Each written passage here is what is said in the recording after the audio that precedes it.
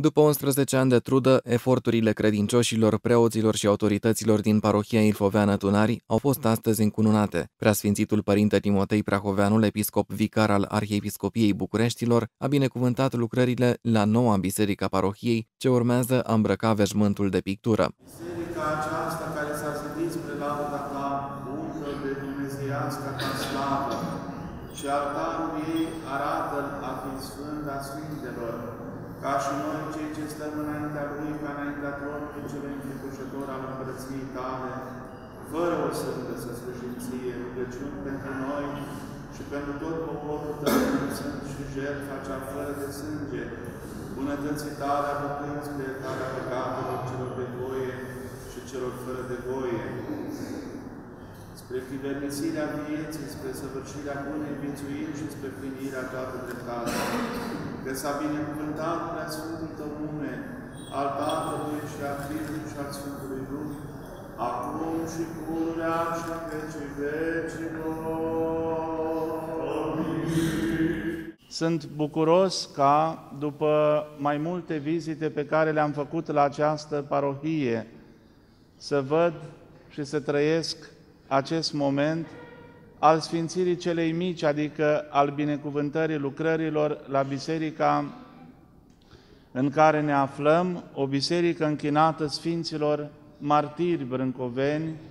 Constantin Voievod și fiii săi, Constantin, Ștefan, Radu și Matei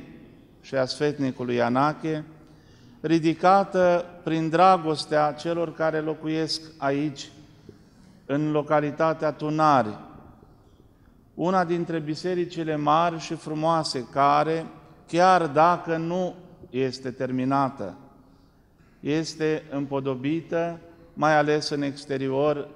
cu o frumusețe deosebită, dar și în interior prin icoanele care s-au fixat pe catapeteazmă,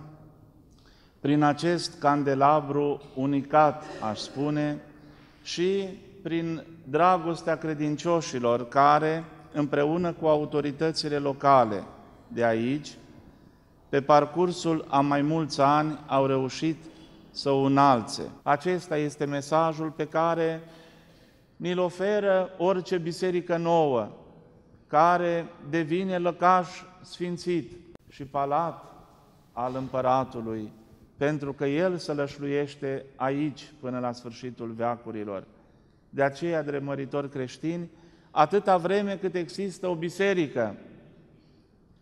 100 de ani sau 500 de ani sau mai mult, ctitorii ei sunt de apurul pomeniți. În cuvântul de învățătură, ierarhul a subliniat legătura dintre sfinții sărbătoriți în această zi și sfinții ocrotitori ai locașului de cult. Și m-am gândit la asemănarea pe care nimeni nu a ținut în mod deosebit să o arate dintre cei doi martiri pomeniți astăzi de către biserica noastră, Sfinții Serghie și Va, și Sfântul Ocrotitor al acestei biserici, Marele Domn al țării românești, Constantin Brâncoveanu. Și din cântările păstrate prin tradiție, între care și balada Sfântului Constantin Brâncoveanu, ne aduc aminte aceste cântări că Marele Domn al țării românești, fiind dus la Constantinopol, unde i s-a propus să se lepede de credința sa creștină, a refuzat și împreună cu cei patru fii ai săi și cu sfetnicul Ianache au murit martiri în ziua adormirii Maicii Domnului din anul 1714. Pentru munca depusă, preoții parohiei au primit câte o icoană argintată, ctitorii au primit ordinul Sanctus Stefanus Magnus pentru mireni, iar binefăcătorii distincții de vrednicie. Evenimentul de astăzi este o mare sărbătoare, un prilej de mare bucurie, pentru că, iată, cu înalta binecuvântare a prefericitului Părinte Patriar Daniel, astăzi Preasfințitul Părinte Timotei Prahoveanul, episcop vicar al Arhiepiscopiei Bucureștilor, a poposit în uh, localitatea Tunari pentru a sfinți cu aghiasmă Biserica Parohiei Tunari,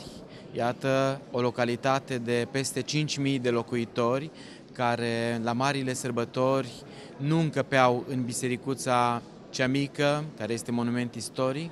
și în urmă cu aproape 11 ani s-a luat decizia construirii acestei biserici și este un cununare momentul de astăzi pentru cei doi preoți care au lucrat la această biserică, dar și pentru autoritățile locale care au sprijinit în totalitate construirea noii biserici. Astăzi este un eveniment, uh, aș putea spune, unic, pentru că mai bine de 300 de ani nu am avut nicio sfințire sau nicio târnosire de biserică, pentru că avem alături biserica cea veche, ce a fost construită în anul 1702 și de atunci până în ziua de astăzi nu s-a făcut nicio sfințire de biserică în această comună. Biserica noastră a fost construită în anul 2006, în uh, luna iulie